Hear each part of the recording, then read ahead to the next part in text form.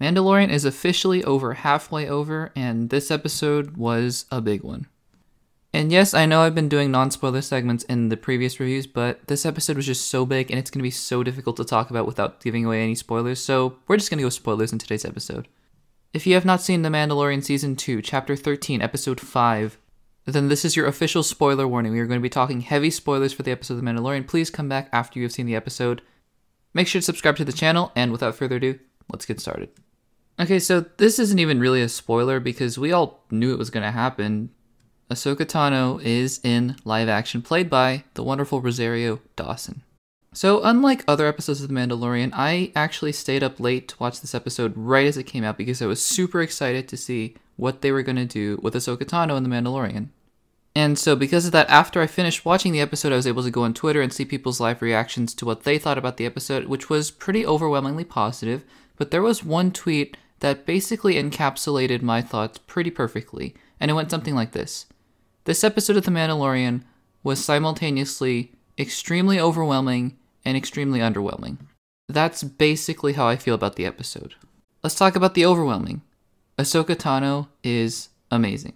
Rosario Dawson plays the character with just such a precise, acute, emotional, yet calm, collected presence that we have come to expect from the post Clone Wars sort of Rebels version of Ahsoka, and I absolutely ate that up. And even her introduction, I was shocked. I was shocked that they would reveal her so early, but honestly, not unhappy about it.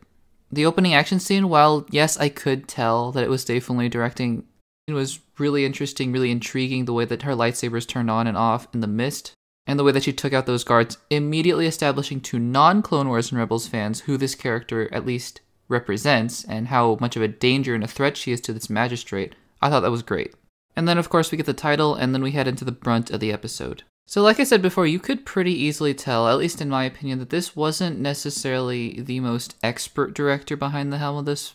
Because there are some pretty conventional tropes that Dave Filoni goes through. For example, while it is, yes, clever to set up the fact that Baby Yoda wants that little knob on the ship and then later set up the fact that he needs to grab it by the Force when they're training with Ahsoka, it does feel pretty basic storytelling like foreshadowing 101. The second he did that, and the second they spent so much time on Baby Yoda holding the knob and the Mando just took it, and then they went on on their way, I knew immediately that that was going to come back somewhere, and it did.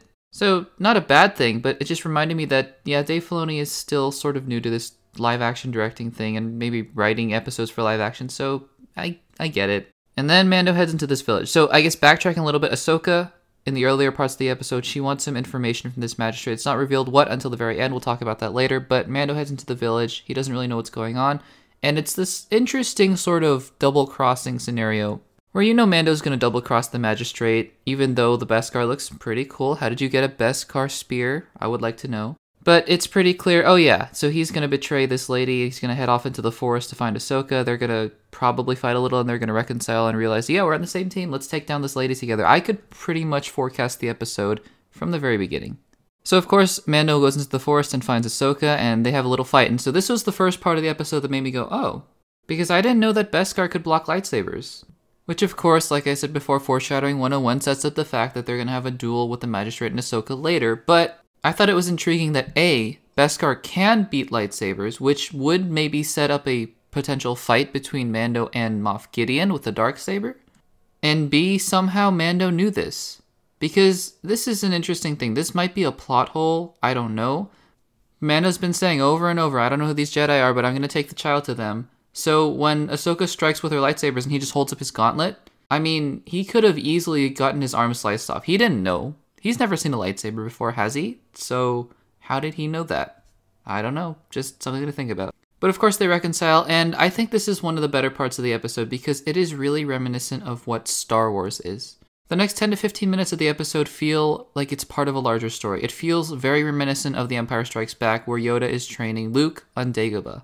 And I really enjoyed that. As I took a step back while watching this episode, I kind of realized this part of the episode feels like it's part of the grander story, right? And that's a good thing because, like I've said before, I am a really big proponent in television of having a grander story and going episode by episode, building up to something in the finale, which this series hasn't necessarily been doing that well. So, to have a little bit of a segment, a little bit of a stop that really does seem like it lends more towards the bigger story is a good thing. However, while this episode is a little longer at 47 minutes, which I appreciate by the way, there is a sort of smaller story contained within this episode. And so when the two are connected, it feels a little bit jarring. Like you're jumping from Ahsoka training this child, and then you're jumping to the magistrate. But again, getting back to that sequence, I thought that it was well done. Dave Filoni knows how to deal with this Jedi sort of thing, with the training and all that sort of stuff. He's done it so many times before with Anakin and Ahsoka, Kanan and Ezra, Kanan and Sabine. So I wasn't disappointed. And we get to finally hear Baby Yoda's name Grogu. What do I think about the name? Honestly, I got no opinions. It's not that much better than Baby Yoda, so I'm gonna stick with Baby Yoda. Then again, Din Djarin isn't that much better of a name than Mando, so that's fine. They can have their names in canon, but we're just gonna call them Mando and Baby Yoda for the rest of time, so I hope Dave Filoni and Jon Favreau know that. The name wasn't the most important part, though. The backstory is what was really interesting. So apparently, Baby Yoda, or Grogu, I guess, I'm already starting to. Anyways, he was trained at the Jedi Temple during the Clone Wars.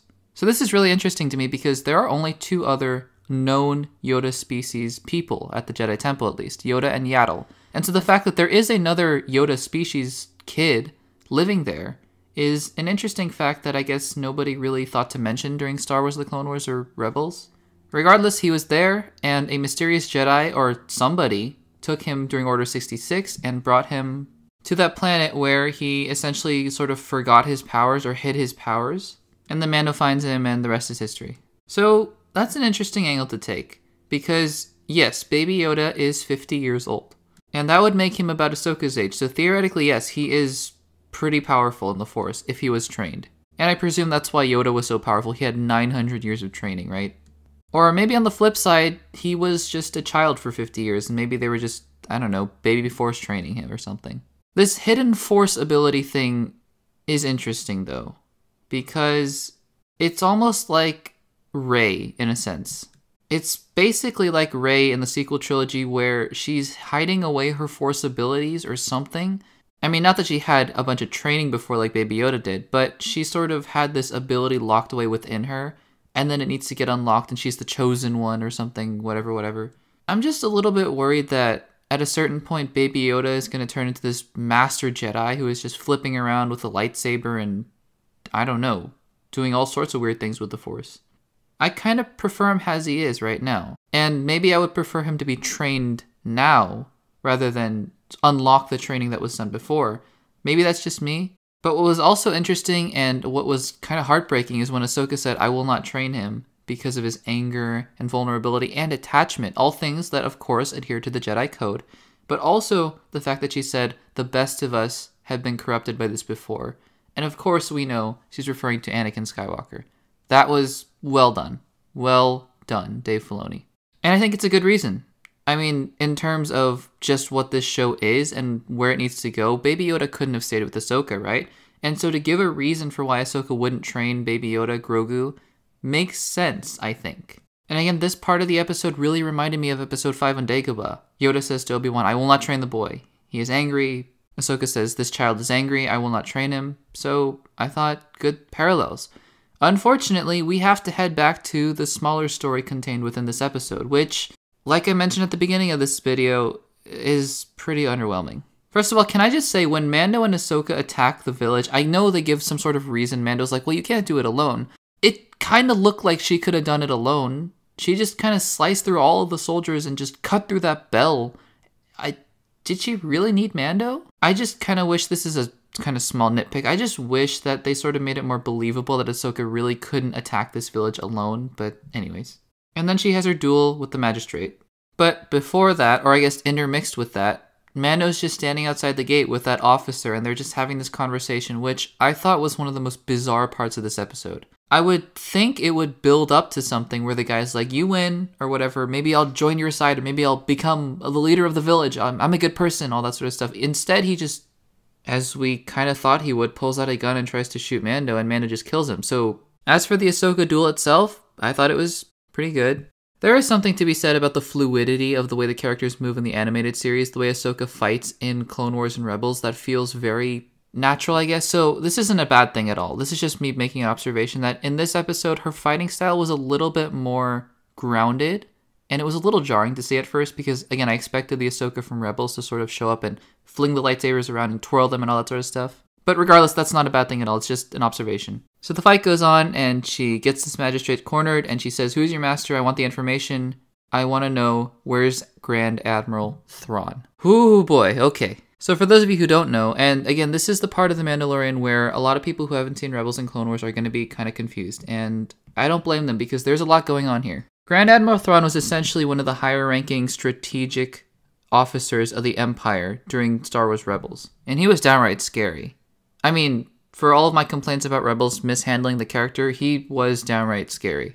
And at the end of the show, he and Ezra Bridger, the main character, the main Jedi of Star Wars Rebels, are sort of shot off into somewhere, I guess.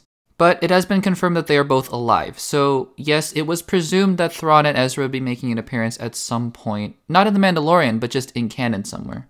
So now we're introducing Thrawn into the mix. And, okay, I have a couple thoughts about this. One, this could go pretty poorly. Because if Thrawn is a separate entity to all the Gideon stuff that's going on, then this is going to feel really disjointed. However, B, I have a suspicion that this Thrawn thing is not going to come up again in The Mandalorian. I could be completely wrong about this. I have a feeling that, look, Ahsoka may not appear again in The Mandalorian. I suspect she might, but I also think it's a distinct possibility that she's not. But I think this one episode was honestly just to set up a live action Ahsoka Tano series. Set concurrently to The Mandalorian, where she and Sabine are going off to find Ezra and Thrawn. I could be completely wrong about this because C this could just be a setup for something else down the line in season three, where Thrawn might be, I don't know, the big villain of season three of The Mandalorian. Because honestly, I don't see Gideon lasting more than two seasons into the third one. I don't know about that, but I just don't see it. Gideon's cool and all, but he doesn't necessarily feel like the big bad. Thrawn doesn't either, but at least we're getting there. So I could see this as more of a setup for season three. Regardless, we are adding another entity into this bizarre story, which has already Snoke, a baby Yoda, Bo Katan, the Dark Saber, Dark Troopers, it's kind of getting crowded now. And unless these things start to interweave and connect to each other, I'm not entirely sure what's going to happen. Now, I do have a theory though. Wild theory, this has no basis in anything whatsoever, but let's theorize. What if Thrawn is the basis for Snoke? What if he is the volunteer? That would actually make a lot of sense. This is just speculation, but there are some rumors that Thrawn and Ezra ended up in the unknown regions. And if you guys know Star Wars canon, you know that Snoke came from the unknown regions. However, that's basically all that anything says about Snoke. Not that he was born there and raised there, it was just he came from the unknown regions. It actually does fit canon if Thrawn, who went to the unknown regions and came back, and no one knew who he was, I guess, then said, Look, let me get this force sensitive blood. I will be the template for Snoke. I am Snoke. That actually would make a lot of sense. It would make a lot of sense why he's the leader of the First Order, why he's such a brilliant leader, commanding presence, why the First Order looks up to him, because he was a leader in the Empire. So, just a wild theory, but what if Thrawn and Snoke are connected? Because look, I'm trying to connect these plot threads, because otherwise it's just a bunch of loose threads just floating around in Star Wars canon, and I don't know if that's the best thing for The Mandalorian. I mean, we already have Boba Fett just randomly showing up at the end of the first episode and probably not coming back for the rest of the season, which is a little annoying, but anyways. So, just floating it out there, what if Thrawn is Snoke? Who knows? And then the episode basically ends, and this is where the crux of my complaints with this episode really lie. Why I said it was so underwhelming. Look, I get it, guys. Mandalorian is not going to be like, for example, a Stranger Things, where each episode builds and builds and builds to a larger story. I get it. Each episode is going to be its own self contained adventure, and that's fine. That's totally great. And it works in a setting like the Clone Wars, where you have so many different characters hopping around different parts of the galaxy that it is almost like little isolated incidents. They have three or four episode arcs to tie that all together. However, Mandalorian does, unlike the Clone Wars, have an overarching story over all eight episodes, unlike the Clone Wars, which is sort of just a disparate mishmash of a bunch of adventures. There is an endgame here. Mandalorian is trying to find a place for Baby Yoda, or Grogu, I guess, to be trained as a Jedi. That's the endgame. And for just a second, I was fooled into thinking that this was part of the endgame. It's fine and all to keep building and building to something for the season finale, but it has to make sense in terms of what you've been setting up. What they set up last episode clearly was Moff Gideon putting a tracker on the Razor Crest, and then Mando going to find Ahsoka. So naturally, you would think, okay, there is going to be a pivotal moment in this episode. It's going to lead to something big. Mando's going to find Ahsoka, Moff Gideon's going to find them both, and then something big is going to happen. Unfortunately, none of this happens because this episode follows the exact same formula that all the other episodes have been following, and it's frustrating at this point. I love the tone and the ambiance and the Star Warsness of The Mandalorian. But I think that Dave Filoni and Jon Favreau have developed a formula, and for whatever reason, they are refusing to deviate from it. Mando goes to find some information, he has to do a favor for someone first, then he goes and gets the information, and he leaves the place basically no better than he was off before. Just a little bit. He has that little bit of information now. Just like this episode. Before he can get anything, he has to do a favor for Ahsoka Tano by helping her liberate the village. And then at the end of the episode, instead of it actually meaning something, she says, Oh, no, I wasn't really the point. You gotta go find someone else. Okay. I. What? I guess forgive me for thinking this episode was gonna be something bigger than it actually was because this episode was just another step onto something else that better be worth it because if this all this setup is not worth something this season is going to be massively disappointing the reason that I loved last week's episode so much was because it was setting up the grander story while also being a really solid self contained story within itself. And this episode, unfortunately, I think misused the character of Ahsoka Tano. Unless she is coming back in a big way, which, great for that later episode, but for this episode, I just don't think it worked that well. And then finally, before I wrap up this video, I want to talk about who that Jedi might be that Grogu was going to find on Tython. I think three possibilities, right? Ezra Bridger, Luke Skywalker, Leia Skywalker. Out of those three, who do I think is the most likely? Honestly, probably Ezra. I've heard rumors that Luke Skywalker is coming from no reputable sources, let's be clear. But if Luke Skywalker does show up, that's going to be really interesting because already The Mandalorian is being integrated into the Star Wars universe very closely. This would almost be like, hey, you're basically part of the films now. Which, okay, great. If Dave Filoni and Jon Favreau and the rest of the team can do something with that, great. However, I think this makes more sense to be Ezra Bridger because The Mandalorian also is looking more and more like a Rebels Clone Wars adjacent sort of series in live action. So, if Thrawn is out there, it would be safe to assume that Ezra would be as well. Although that does lead to a couple questions like, well, then why didn't he just go and find Ahsoka again and find Sabine? But I don't know. So look, at the end of the day, I loved Ahsoka in this episode. I did. I love the way that they handled her relationship with Grogu and Mando, and I love the action in the scenes with her as well. But this is getting old. You know, you gotta give us something. You gotta give us some payoff. The payoff doesn't all have to be in the eighth episode, just like it was in last season. It, it can be, and it can be good, but you gotta give us something before that. Bottom line, I'm hoping that whatever they're building up to is something big because otherwise this season is to be a huge dud and that's to be really disappointing to me. I've liked each episode thus far, even The Passenger, although the more I think about that episode, the less and less I like it, but anyways. So please, Jon Favreau, make this worth it because if this is the last we see of Ahsoka Tano in live action for a while, that's disappointing. So, what did you guys think of this week's episode of The Mandalorian, Chapter 13, The Jedi? Leave your thoughts in the comments down below and let me know what you thought. If you haven't subscribed, then please make sure to do so and give this video a like to support the channel. And if you want to check out some more videos, check out the videos on the screen right now. Thanks for watching, and I'll see you in the next one.